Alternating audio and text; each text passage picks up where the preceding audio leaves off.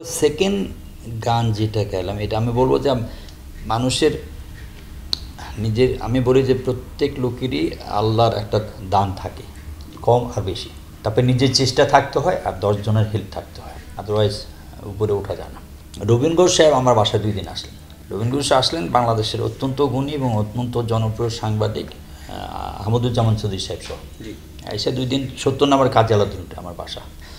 আসলেন না পেয়ে সেকেন্ড ডেতে লিখে দিলেন আমি রবীন ঘোষ সুরকার আসছিলাম। তো আগামীকালকে আপনি আমার ভাই এত আটাত্তর না কত নাম্বার? আশি নাম্বার ইস্কারান গার্ডেন। ওনার বড় ভাইয়ের নাম হলো বাদর ঘোষ।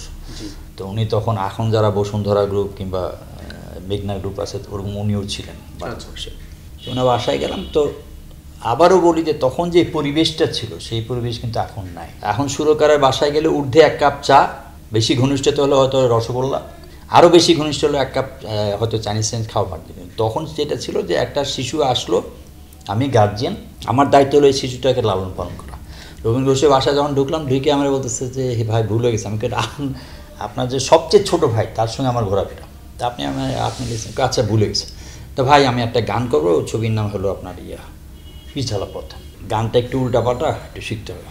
তাই গান লিখতেছিল আহমদুজ্জামান চৌধুরী সাহেব। লিখলো সুর করতেছে শিখাতেছে তা আমার একটা খুব খারাপ দোষ এখনও আছে। যতক্ষণ শেখায় ততক্ষণ শুনি তারপরে আবার ভুলে দিই তো এইভাবে, তো সারাদিন মনে মনে করেন যে দুপুরে লাঞ্চ করার আগ মুহূর্ত পর্যন্ত রিহার্সেল হলো লাঞ্চ করে তারপরে বলতেছে, ভাই, একটু রেস্ট নাও। এই তিনটা, সাড়ে তিনটা, চারটার দিকে আচ্ছা ভাই, মনে আছে, অর্ধেক আছে, অর্ধেক মনে নেই। আবার নতুন করে গান শেখালো। তো এই গানটা ছিল আপনার খানজনন সাহেবের লিপি ছিল, খুব আয়দার খানজনন নাহলে আনিস সাহেবের লিপি ছিল। মানে গানটা একটা মানে খুব ভালো গা- মানে স্যাটায়ার টাইপ এই আমি পাগল পাগল পাগল দুনিয়ায় মানুষ চেনা তাই একটা গান ছিল। তারপরে এইটা রেকর্ডিং হওয়ার পরে সত্যদা আমাকে ডাকলেন এই সত্য সাহা। সত্য সাহা। সত্যদা এর আগেও দেখা হয়েছিল খালি বলল যে একদিন আইসো বাসায়। তো অনেকে আসছে তা আমি ওনাকে বলছিলাম যে সত্যতা আমার একটা অসুবিধা আছে যে সেটা হলো এখনও মেনটেন করি। আমি ব্যক্তিগত মনে করি কারোর কাছে গিয়া ধৈরা টুরা হয়তো পাবো কিন্তু সেটা তো অন্তর থেকে দিবে না। অন্তর থেকে দেওয়া এক জিনিস আর যাওয়া এক জিনিস। তো সত্যদা তখন সাধারণ মেয়ে জাফর ইকবাল নায়ক। ইয়ার খান মামার ছবি। এখানে আপনার তখন ওই গানটা খুব জনপ্রিয় ছিল। সিং নাই তবু নাম তার সিংহ। ডিম নাই তবু অশ্বটি। এখানে ছিল এই আমি ডিম মারো ডিম মারো যত পারো জোরে মারো মারো। ভেজে ভেজে খাব খেয়ে খেয়ে তাগরা হব তাগরা হয়ে আগ্রা যাব। তারারুম তারারুম তারারুম তারারুম বাবা গো মামা গো চাচা গো, এই গান এই টাইপের এই গানটা হিট করার পরে আর আমাকে ইন্ডাস্ট্রিতে কোনো ইয়ার জন্য করতেন তখন মনে করেন আলী হোসেন সাহেব জি। সুবল দাস সত্যদা তো একদম হান্ড্রেড পার্সেন্ট কনফার্ম ছিল। জি। তারপরে আনোয়ার পারভেজ।